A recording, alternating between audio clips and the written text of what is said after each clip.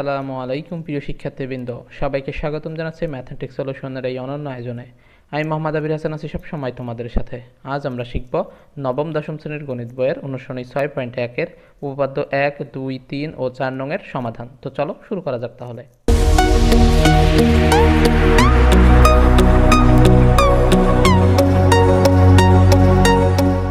এই উপপাদ্যগুলো তোমাদের পরীক্ষার জন্য অতটা গুরুত্বপূর্ণ নয়, তবে এই উপপাদ্যগুলো তোমরা এখান থেকে যদি জেনে বুঝে যাও, তাহলে পরবর্তী অনুসরণীতে গিয়ে যেসব কঠিন কঠিন জ্যামিতি আছে সেগুলো তোমরা নিজেরাই সমাধান করতে পারবা। এই জন্য এই ক্লাসটি তোমাদের জন্য গুরুত্বপূর্ণ। তোমাদের এখান থেকে ভালো করে বুঝে শিখে পরবর্তী অধ্যায়তে যাওয়ার জন্য অনুরোধ করছি। তো প্রথমে উপপাদ্য এক দেখব। এখানে মূলত আমরা প্রশ্নটা দেখেই কীভাবে চিত্রটা আঁকতে হবে, চিত্রটা কীরকম হবে সেটা শিখব। আমরা বিস্তারিত আলোচনা করব না, অর্থাৎ সমাধান করে দেখাবো না। আমরা এখানে শুধু উপপাদ্যগুলোর গাণিতিক রূপ দেখব। প্রথমে আমরা উপপাদ্য একের প্রশ্নটা লক্ষ্য করি। এখানে বলছে, একটি সরলরেখার একটি বিন্দুতে অপর একটি রশ্মি মিলিত হলে যে দুটি সন্নিহিত কোণ উৎপন্ন হয়, এদের সমষ্টি দুই সমকোণ। আমরা প্রশ্নটা পড়েই কিন্তু বুঝে নেব যে চিত্রটা কীরকম হবে। এখানে বলছে, একটি সরলরেখার একটি বিন্দুতে। তাহলে সরলরেখা কীরকম হয়? আমরা জানি, মনে করো এইটা একটা সরলরেখা। এই সরলরেখার যে কোনো একটা বিন্দু, তুমি বিন্দুটা এখানেও নিতে পারো, এখানেও নিতে পারো, কোনো সমস্যা নেই। মনে করো এটা একটা বিন্দু। একটি বিন্দুতে অপর একটি রশ্মি মিলিত হলে, মনে করো এইটা একটা, অপর একটা রশ্মি। এই রশ্মিটা মিলিত হয়েছে এই বিন্দুতে। যে দুইটি সন্নিহিত কোণ উৎপন্ন হয়, এদের সমষ্টি দুই সমকোণ। তো এখানে আমরা দেখতে পাচ্ছি দুইটি কোণ উৎপন্ন হয়েছে। তোমরা যদি ভালো করে লক্ষ্য করো, এই যে একটা কোণ এবং এই যে একটা কোণ। তো এই কোণ দুইটাকে বলা হচ্ছে সন্নিহিত কোণ। প্রশ্ন বলেছে এই দুইটি কোণের সমষ্টি হচ্ছে দুই সমকোণ। তো আমরা কিন্তু ইতিপূর্বে, অর্থাৎ পর্ব একে যে বেসিক আলোচনাগুলো করেছিলাম, সেখানে কিন্তু সন্নিহিত কোণ সম্পর্কে বিস্তারিত আলোচনা করেছি।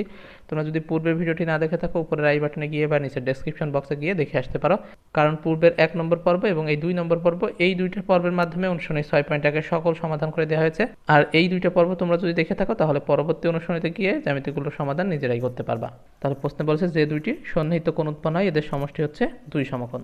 তাহলে এই কোণ এবং এই কোণের সমষ্টি হবে দুই সমকোণ। দুই সমকোণ মানে কত? আমরা জানি দুই সমকোণ সমান হচ্ছে একশো আশি ডিগ্রি। তাহলে এই দুইটা মিলে একশো আশি ডিগ্রি হবে। তো এইটার মান পঞ্চাশ ডিগ্রি হতে পারে।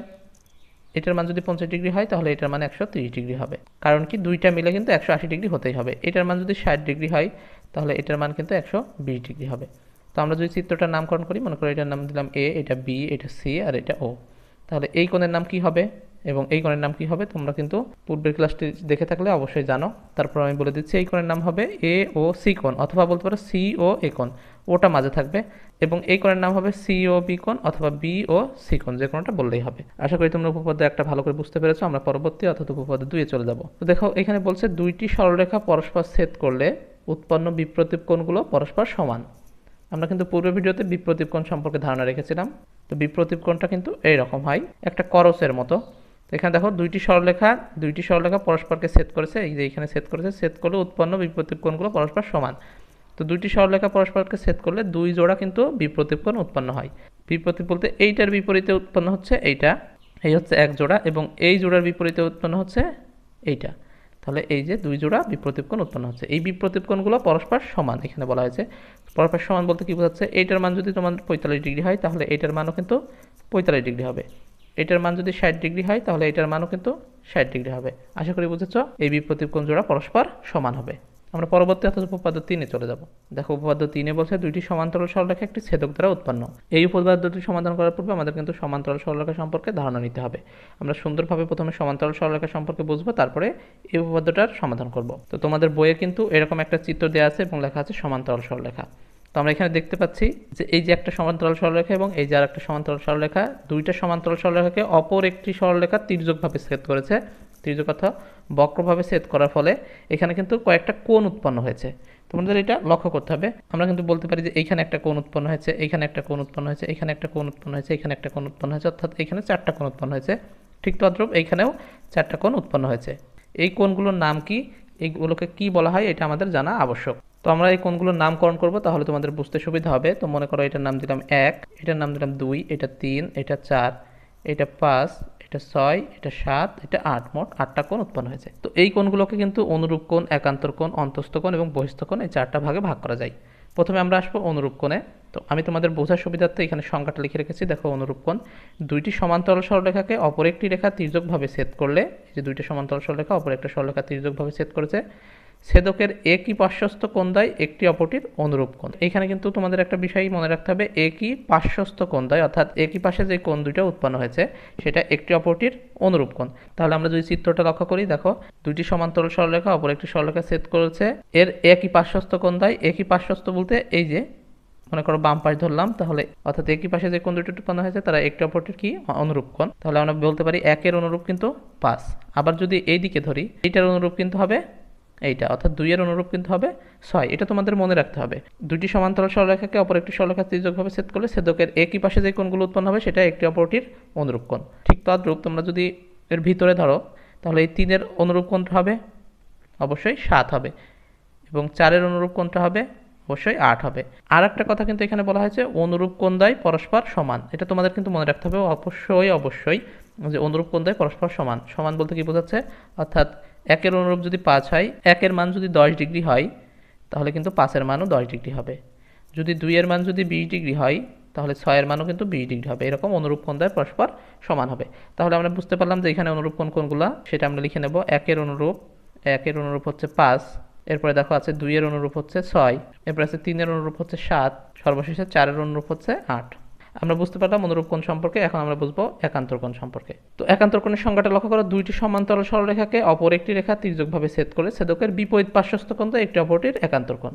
অনুরূপ কোণ হচ্ছে একই পার্শ্বস্থ, অর্থাৎ একই দিকে, আর এটা হচ্ছে বিপরীত পার্শ্বস্থ, অর্থাৎ বিপরীত দিকে যে কোণ দ্বয় উৎপন্ন হয়, সেটা একটি অপরটির একান্তর কোণ। তাহলে বিপরীত দিকে কোন কোনগুলো উৎপন্ন হয়েছে? তো আমরা যদি চিত্রটা আবার লক্ষ্য করি মনে করো তোমাদের জন্য এখানে আরেকটা চিত্র আঁকলাম, এটার নামকরণ করি A B C D F E এটার নাম হচ্ছে কিউ, এটার নাম হচ্ছে, আমরা আবার সংখ্যাটা লক্ষ্য করি দুটি সমান্তরাল সরলরেখাকে অপর একটি সরলরেখা তির্যকভাবে ছেদ করার ফলে ছেদকের বিপরীত পার্শ্বস্থ কোণ দ্বয় একটি অপরটির একান্ত কোণ। তাহলে বিপরীত কোণটা, মনে করো, এই যে এইটার বিপরীত কিন্তু এইটা। এটা কিন্তু একই না। এটার বিপরীতে কিন্তু এটা হচ্ছে। ঠিক তদ্রূপ, এইটার বিপরীতে কিন্তু এটা হচ্ছে। আশা করি বুঝতে পেরেছ? আরেকটা কথা বলা আছে, একান্তর কোণ দ্বয় পরস্পর সমান। অনুরূপ কোণ যেমন সমান, একান্তর কোণও কিন্তু সমান। তাহলে এটার নাম ছিল তিন। এটার নাম চার, এটার নাম পাঁচ, এটার নাম ছয়। তাহলে আমরা বলতে পারি তিনের একান্তর কোনটা? ছয়। চারের একান্তর কোনটা? পাঁচ। আর এই কোণ দ্বয় পরস্পর সমান? অর্থাৎ এটা যদি পনেরো ডিগ্রি হয়, তাহলে এই এইটাও পনেরো ডিগ্রি হবে। এটা যদি দশ ডিগ্রি হয়, এটাও কিন্তু দশ ডিগ্রি হবে। আশা করি বুঝেছ? একান্তর কোণটা আবার দুই রকম আছে। এটা হচ্ছে অন্তস্থ একান্তর কোণ এবং বহিস্থ একান্তর কোণ। অন্তস্থ বলতে এই যে দুইটা সমান্তরাল সরলরেখার মধ্যে যেগুলো উৎপন্ন হয়েছে, এই তিন, চার, পাঁচ, ছয়, এগুলোকে বলা হচ্ছে অন্তস্থ একান্তর কোণ আরেকটা হচ্ছে বহিস্থ একান্তর কোণ। বহিস্থ মানে এই সমান্তরাল সরলরেখার বাইরে যেটা উৎপন্ন হয়েছে সেটা হচ্ছে বহিস্থ। তাহলে বাইরে যদি আমরা ধরি, তো মনে করো এই যে এইটার বিপরীতে কোনটা হবে এইটা এবং এইটার বিপরীতে কোনটা হবে এটা। আশা করি তোমরা বুঝতে পেরেছ। তাহলে আমরা যেমন লিখতে পারি যে তিনের একান্তর হচ্ছে সিক্স এবং চারের একান্তর হচ্ছে ফাইভ তো আমরা এটা লিখলাম না, তোমরা আশা করি বুঝতে পেরেছ। তো এই চিত্রে একটা কোণ উৎপন্ন হচ্ছে, সেটা হচ্ছে অন্তস্থকোণ অন্তস্থকোণ সম্পর্কে আমরা জানব। দেখো এখানে বলা হয়েছে কোনো আবদ্ধ ক্ষেত্রে ভিতরে উৎপন্ন কোণগুলো অন্তস্থকোণ তাহলে আমরা ইতিপূর্বেই দেখলাম যে ভিতরে কোন কোনগুলা, এই যে তিন, চার, পাঁচ, ছয়, এই ভিতরে যে কোনগুলো আছে, এটাকে বলা হচ্ছে অন্তস্থকোণ। এই অন্তস্থকনকে আবার দুই ভাগে ভাগ করা যায় হচ্ছে ডান পাশের অন্তস্থকোণ এবং বাম পাশের অন্তস্থকোণ। তাহলে ডান পাশের অন্তস্থকনগুলো এই যে চার এবং ছয় এবং বাম পাশের অন্তস্থকনগুলো তিন এবং পাঁচ। আশা করি বুঝেছ? এবার আমরা দেখব বহিস্থ কোণ তো আমরা এখন বহিস্থকোণ সম্পর্কে জানব। দেখো, কোনো আবদ্ধ ক্ষেত্রে কোনো একটি বাহুকে বর্ধিত করলে যে কোন উৎপন্ন হয় তাকে বহিস্থকোণ বলা হয়। তো দেখো, দুইটা সমান্তরাল সরলরেখা, অপর একটি সরলরেখা ছেদ করেছে। তাহলে এই যে এতটুকু আছে, এতটুকু কিন্তু আবদ্ধ ক্ষেত্র। তো এই আবদ্ধ ক্ষেত্রে কোনো একটি বাহু বর্ধিত করলে যে কোন উৎপন্ন হয়, তাহলে সেটাই হচ্ছে বহিস্থকোণ। তো এটা আমরা যদি বর্ধিত করি, তাহলে এই যে বাইরে যে কোন দুইটা উৎপন্ন হয়েছে, সেটা বহিস্থকোণ। নিচে এই যে বাইরে যে দুটো কোণ উৎপন্ন হয়েছে, তাহলে এই দুটাও কিন্তু বহিস্থকোণ। আশা করি বুঝতে পেরেছ? তাহলে আমরা এই চিত্রে বলতে পারি যে এই এক এবং দুই, সাত এবং আট, এই দুটো হচ্ছে বহিস্থকোণ। আশা করি তোমরা এই চিত্র সম্পর্কে বিস্তারিত বুঝতে পেরেছ। এই চিত্রের ফলে এখানে কি কি কোণ উৎপন্ন হয়েছে কোনগুলোর নাম কি কি, এটা নিয়ে আর তোমাদের সমস্যা থাকার কথা না। আমরা এখন উপপাদ্য তিনে চলে যাব। আমরা উপপাদ্য তিনের প্রশ্নটা আবার করব। দুইটি সমান্তরাল সরলরেখা একটি ছেদক দ্বারা উৎপন্ন। তাহলে আমরা ইতিপূর্বে দেখলাম দুইটা সমান্তরাল সরলরেখা, মনে করো একটা ছেদক দ্বারা উৎপন্ন হয়েছে। প্রত্যেক অনুরূপ কোণ জোড়া সমান হবে। তো আমরা ইতিপূর্বে কিন্তু অনুরূপ কোণের সংজ্ঞাটা পড়েছি। দুটি সমান্তরাল সরলরেখার একই পাশে যে কোণগুলো উৎপন্ন হয়, সেটা হচ্ছে একটি অপরটির অনুরূপ কোণ। তাহলে এই কোণ এবং এই কোণ। এখানে বলছে অনুরূপ কোণ জোড়া সমান হবে। আমরা জানি যে অনুরূপ কোণ সবসময়ই সমান হয়, অর্থাৎ এটা যদি দশ ডিগ্রি হয়, তাহলে এটাও দশ ডিগ্রি হবে, এটা পঞ্চাশ ডিগ্রি হলে এটাও পঞ্চাশ ডিগ্রি হবে। তো আমরা এটা বুঝলাম। খ নম্বর লক্ষ্য করো, প্রত্যেক একান্তর কোণ জোড়া সমান হবে। আমরা কিন্তু একান্তর কোণ পড়েছি যে দুটি সমান্তরাল সরলরেখাকে অপর একটি সরলরেখা তির্যকভাবে ছেদ করলে ছেদকের বিপরীত পাশে যে কোণগুলো হয়, সেটা একটা অপরটার একান্তর কোণ। তার মানে এই যে এইটার একান্তর হবে, এইটা। এবং সেখানে কিন্তু পড়েছি, একান্তর কোণ জোড়াও সবসময় সমান হয়। তাহলে এটা যদি পঞ্চাশ ডিগ্রি হয়, তাহলে এটাও কিন্তু পঞ্চাশ ডিগ্রি হবে।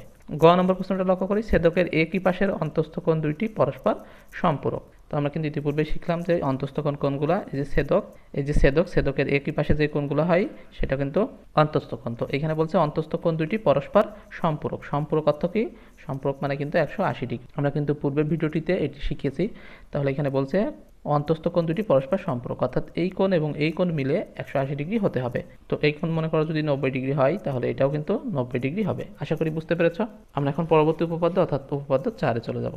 আমরা উপপাদ্য চারের প্রশ্নটা পড়ে নেব। দেখো এখানে বলছে দুইটি সরলরেখা, অপর একটি সরলরেখাকে ছেদ করলে যদি কি হচ্ছে, ক নম্বরে অনুরূপ কোণগুলো পরস্পর সমান হয় অথবা একাত্তর কোণগুলো পরস্পর সমান হয় অথবা ছেদকের একই পাশের অন্তস্থ কোণদ্বয়ের যোগফল দুই সমকোণের সমান হয়, তবে ওই সরলরেখা দুইটি পরস্পর সমান্তরাল। তো এটা কিন্তু আমাদের প্রমাণ করতে হবে যে এইগুলো সমান কিনা এবং ওই সরলরেখাটা পরস্পর সমান্তরাল কিনা।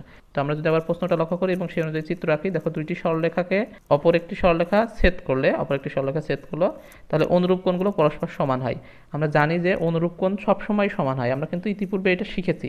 অর্থাৎ এই কোণ এবং এই কোণ সবসময় সমান হয়। এটা দশ ডিগ্রি হলে এটাও দশ ডিগ্রি, এটা একশো ডিগ্রি হলে এটাও একশো ডিগ্রি। একাত্তর কোণগুলোও পরস্পর সমান হয়। তাহলে এই কোণ এবং এই কোণ সবসময় সমান হবে। এই কোণ এবং এই কোণ সবসময় সমান হবে। এরপর বলছে ছেদকের একই পাশের অন্তস্থ কোণ কোণদ্বয়ের যোগফল দুই সমকোণের সমান। অর্থাৎ ছেদকের যদি আমরা ডান পাশ ধরি, এই পাশ এবং এই পাশের যে দুইটা কোণ উৎপন্ন হয়েছে, এই কোণ দ্বয়ের যোগফল দুই সমকোণের সমান। যোগফল বলতে কি বোঝাচ্ছে? আমরা কিন্তু উপপাদ্য তিনের গ নম্বর প্রশ্নে দেখেছি, অন্তস্থ কোণ দুইটি পরস্পর সম্পূরক কিন্তু। তাহলে সম্পূরক মানেই কিন্তু একশো আশি ডিগ্রি। আর দুই সমকোণ অর্থ কিন্তু একশো আশি ডিগ্রি। তাহলে এই যে এইখানে যে কোণ দুইটা উৎপন্ন হয়েছে এটা, এই দুইটা কিন্তু একশো আশি ডিগ্রি হবে। তাহলে এখানে থেকে আমরা বুঝলাম যে অন্তস্থ কোণের যোগফল দুই সমকোণ। অর্থাৎ এই যে, এই পাশে যে অন্তস্থ কোণ দুইটা হয়েছে, এই দুইটার যোগফল কিন্তু অবশ্যই দুই সমকোণের সমান, অর্থাৎ একশো আশি ডিগ্রি হবে। তাহলে এই প্রশ্নগুলোর উত্তর যদি মিল থাকে, তারপরে বলছে, তবে ওই সরলরেখা দুইটি পরস্পর সমান্তরাল। আশা করি এই উপপাদ্যগুলো এবং সমান্তরাল সরলরেখা সম্পর্কে তোমরা সুন্দরভাবে বুঝতে পেরেছ। এরপরেও যদি বুঝতে সমস্যা থাকে, জানাতে পারো আমাদের কমেন্টে। আমরা পরবর্তী ভিডিওতে পরবর্তী অনুশীলনী, অর্থাৎ ছয় পয়েন্ট দুই নিয়ে আলোচনা করব। সেই ভিডিওটি দেখার আমন্ত্রণ জানিয়ে শেষ করছি এখানেই। ধন্যবাদ সবাইকে। থাকুন ম্যাথমেটিক্স সলিউশনে শিখুন নতুন কিছু নতুনভাবে Thank you.